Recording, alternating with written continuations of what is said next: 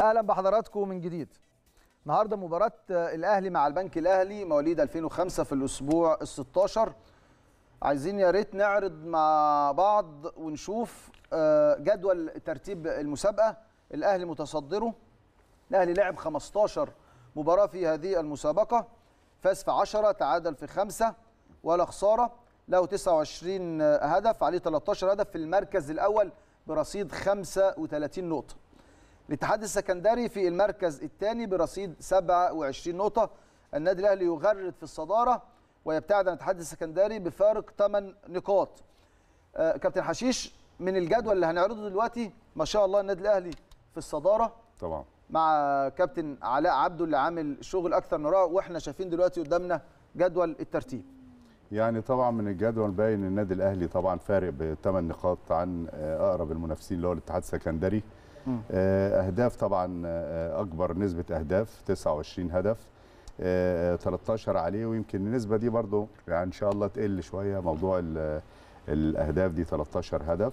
واضح طبعا الكابتن علاء بيلعب يعني بطريقة هجومية على طول ودي عادته. آه. بيباغت المنافسين دايما في البدايات وأكثر أوقات احرزوا الأهداف اللي هي في أول ثلث ساعة بحيث إن هو بيقتل الماتش من البداية.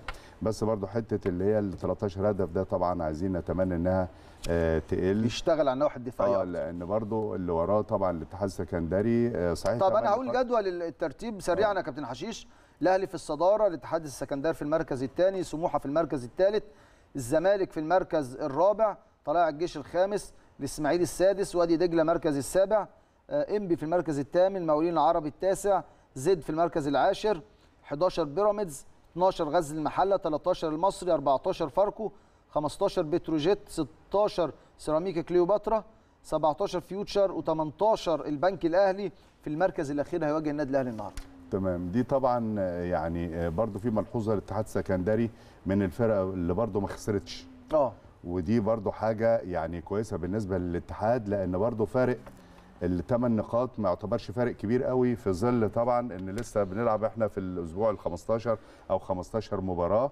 آه النادي الأهلي طبعا إن شاء الله يفضل على هذا خلي بالك أقول لك على حاجة. آه. السنة اللي فاتت اللي اخذ المسابقة دي أو البطولة دي 2005 كان الاتحاد السكندري. آه يعني اللي كون الفرقة دي وعمل معاها شغل آه. كابتن إمام محمدين. قبل ما يرجع تاني طبعا لإنبي عمل آه الحقيقة لأنه آه راح مسك القطاع. كان القطاع يعني الحقيقة كان دايما في جميع المستويات أو الأعمار بنشوف ترتيبه متأخر.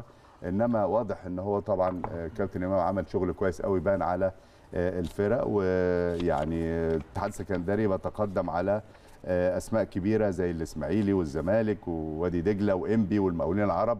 فدي حاجة الحقيقة تتحسب لهم. طبعا بتمنى مزيد من التركيز من النادي الأهلي. وأنا بس الملحوظة اللي هي كانت بتاعه الأهداف اللي هي اللي على النادي الأهلي إنها نسبة طبعا كابتن علاء عبده يهتم بالنواحي الدفاعيه طبعا طبعا.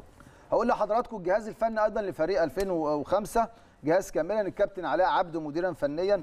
محمد صلاح مدرب عام. وليد الشناوي مدرب حراس المرمى. عماد عبد الهادي إداري الفريق. وأحمد جاب الله طبيب الفريق ومحمد نحلة مدرب الأحمال.